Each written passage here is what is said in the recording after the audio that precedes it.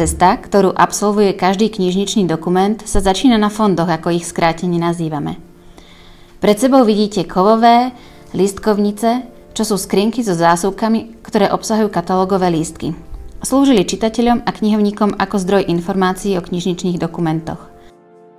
Teraz už namiesto prehistorického googlenia používame už len elektronický katalóg. Ročne do fondu pribudne 8 tisíc až 12 tisíc nových dokumentov. V súčasnosti sú všetky novo nadobudnuté dokumenty spracovávané elektronicky. Tieto prejdú cez 4 až 5 pracovísk, kým sa dostanú k čitateľovi. Dokumenty sú označené v prvom rade signatúrami.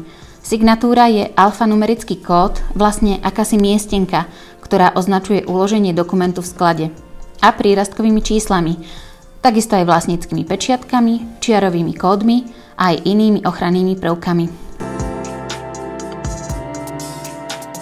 Digitalizačné pracovisko sprostredkúvava digitalizáciu dokumentov, kníh, zviazaných ročníkov periodík, pohľadníc a exlibrisov a fondu starých a vzácných tlačí.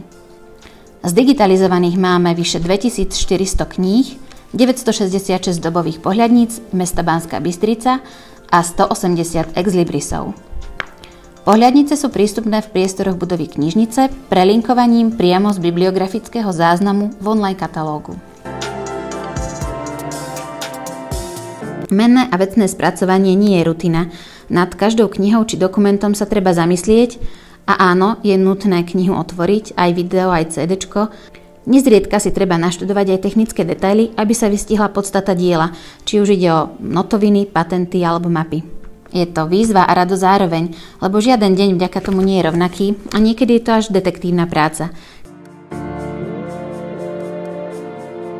Po spracovaní a skatalogizovaní knižničného dokumentu prebieha ešte kontrola záznamu, tlač prírastkových zoznamov či iné technické záležitosti súvisiace s adjustáciou, ale keď si kolegovia preberú knihu do skladu či študovne, už si knihu môžete požičať.